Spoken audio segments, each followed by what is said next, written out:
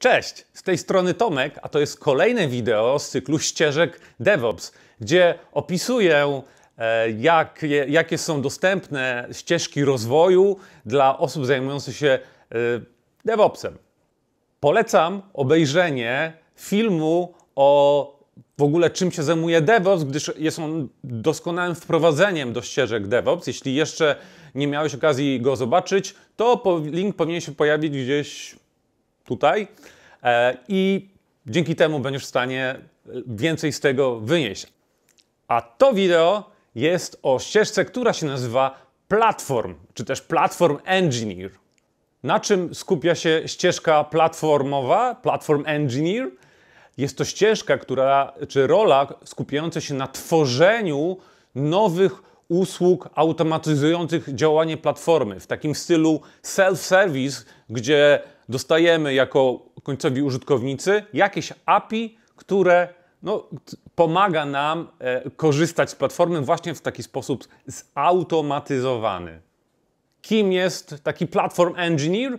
Ja bym mógł powiedzieć, że to jest taka złota rączka, albo wręcz można się pokusić, że jest to taki nowoczesny MacGyver, Cloud Native MacGyver. Również mógłbym powiedzieć, że jest to tak jak MacGyver, który tworzy coś z niczego, e, rozwiązując przy tym e, spore e, problemy to można powiedzieć, że nawiązując do mojej analogii hotelu takiego dużego, można powiedzieć, że to jest osoba, która tworzy meble, czyli wyposaża ten hotel w coś, co do tej pory nie było dostępne na rynku, czyli nie ma obecnie softu, projektu open source'owego czy nawet komercyjnego, który spełnia wymagania organizacji, lub też to jest osoba, która może e, unowocześniać istniejące projekty poprzez dopisywanie, dopisywanie nowych funkcjonalności. Pomówmy o narzędziach. Jakie są narzędzia w, w tej ścieżce e, platformowej? Otóż na pewno e, musimy zacząć od języków.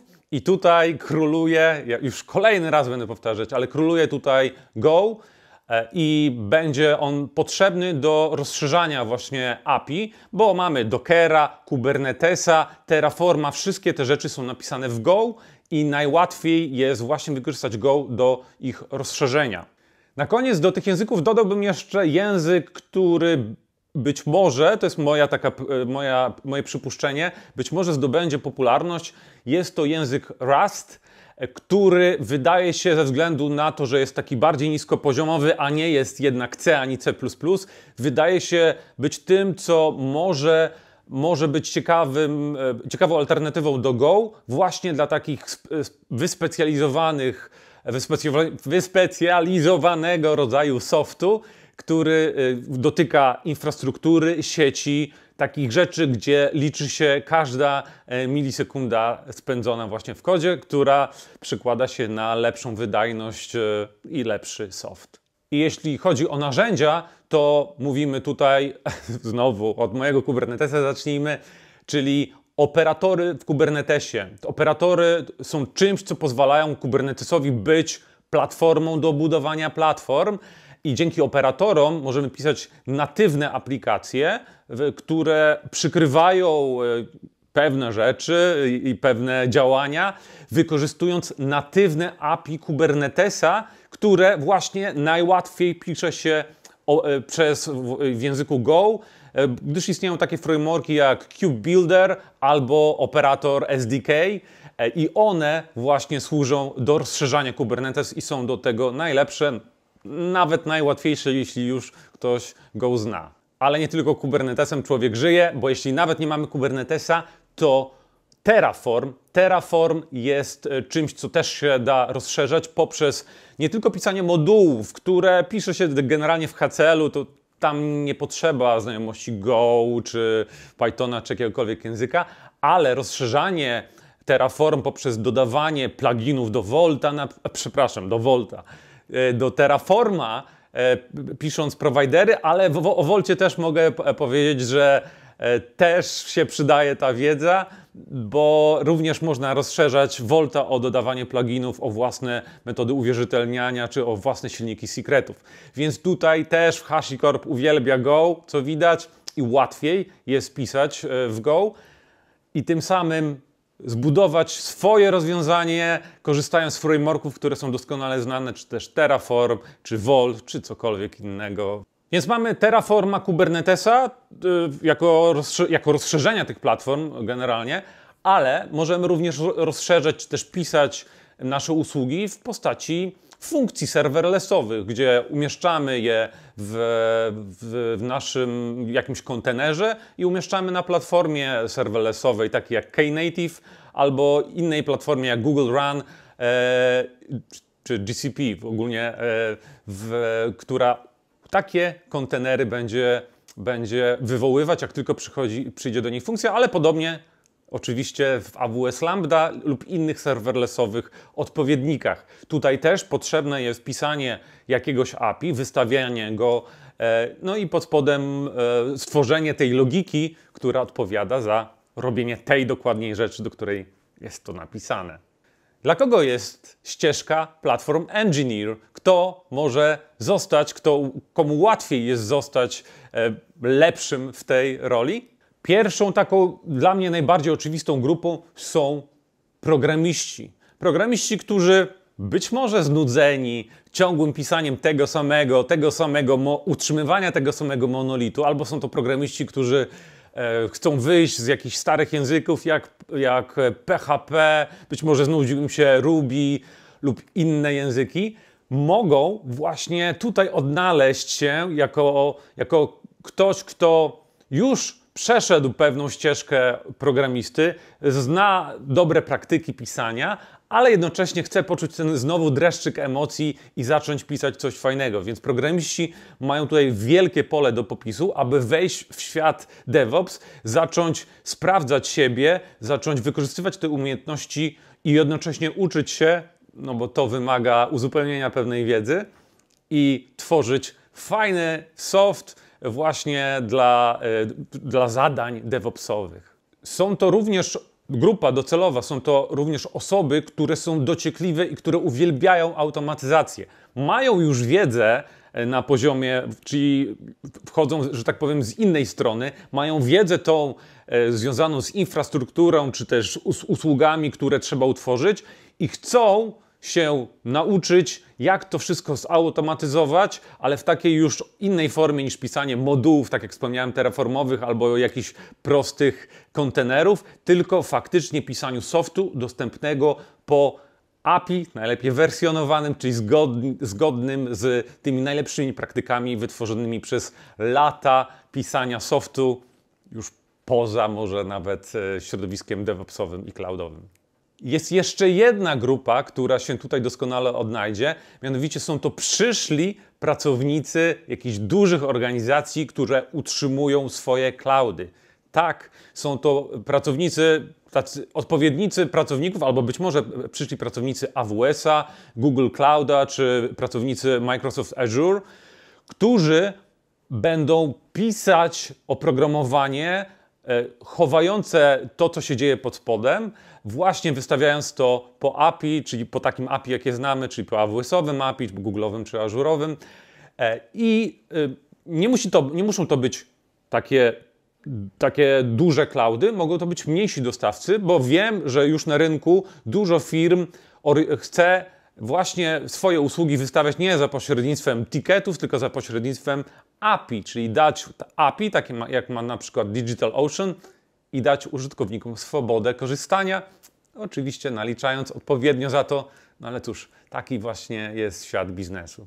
I na koniec, jeszcze raz może powtórzę się, ale na koniec y, doskonałą grupą też, która tutaj może się odnaleźć w tej ścieżce, są wszystkie osoby, które mają bardzo dużą wiedzę i chcą zacząć automatyzować, chcą wykorzystać swoją wiedzę w lepszy sposób niż do tej pory ręcznie logując się po SSH, bo świat do tego zmierza, że o wiele, o wiele cenniejsze staje się, staje się umiejętność oprogramowania tego, no i później oczywiście utrzymywania, więc tutaj od razu zahaczę o temat, że nie ma się czego obawiać, jeśli zautomatyzujemy swoją pracę i wystawimy to jako nawet projekt open source'owy, czy później jako usługę, czy, czy produkt, to o wiele łatwiej będzie nam też skalować swój czas, o ile, się, o ile się poświęcimy tego w całości. Ewentualnie w ramach organizacji również będziemy o wiele bardziej doceniani, że byliśmy w stanie coś takiego utworzyć, a nie e, opieramy się na swojej takiej ręcznej,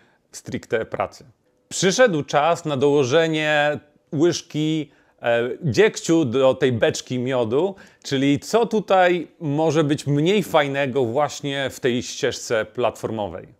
Dla osób, które szukają ekstremalnych może wyzwań, znowu to może być coś, co będzie po pewnym czasie zbyt nudne, no bo jeśli się już skupimy na pisaniu właśnie e, kubernetesowych operatorów, czy też prowajderów do Terraforma, to po pewnym czasie to może się po prostu zacząć nudzić. Nie mówię, że od razu, ale no tutaj możemy się znowu zawęzić, ale te osoby, które programowały i się trochę znudziły tym, co było do tej pory, nadal mogą doskonale e, się tutaj rozwijać i, i, i znaleźć coś fajnego dla siebie.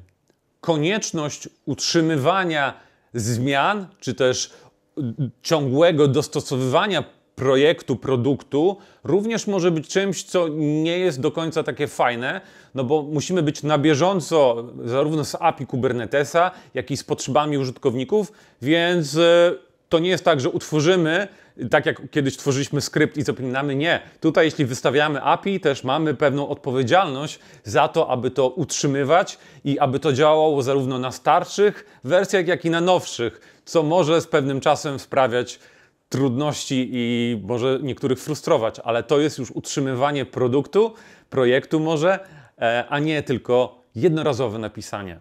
Zatem wiąże się to również z, pewnego, z pewną rodzaju obsługą klienta. No i klientem tutaj może być również klient wewnętrzny, ale przyjmowanie tiketów, rozmowa, nawet niech to będzie rozmowa w pull requestach, czy, czy gdzieś w tiketach wewnętrznych, czy na GitHubie, czy gdziekolwiek, ale nadal będzie to ciągle ta odpowiedzialność za, za ten kawałek softu i jego rozwijanie, tak aby użytkownicy byli zadowoleni, bo to dla nich piszemy, dla nich ukrywamy to, co pod spodem e, i oni powinni e, nam dostarczać właśnie tej informacji zwrotnej. I na końcu ważna informacja dla tych, którzy nie są biegli jeszcze w Go i nie przychodzą ze ścieżki programistów. Trochę frustrujące może być to, że bash tutaj nie wystarczy.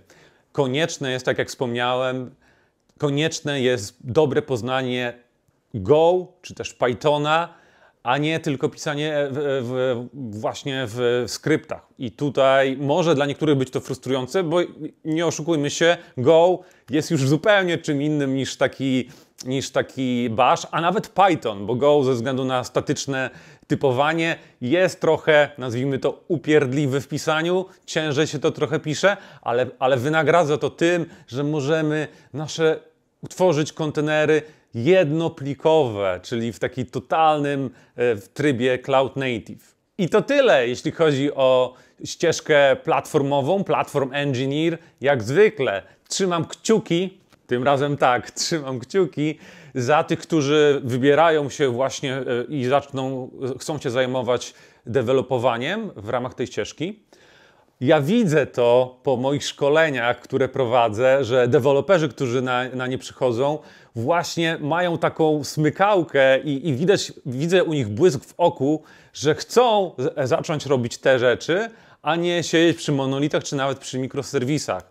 Więc e, trzymam za wszystkich kciuki, za tych deweloperów oraz za innych, którzy chcą zacząć e, wykonywać, tworzyć soft, a nie wykonywać rzeczy po prostu ręcznie. Dzięki za oglądanie. Jeśli chcesz się czymś podzielić, masz może swoje spostrzeżenia, umieść je w komentarzu pod tym filmem.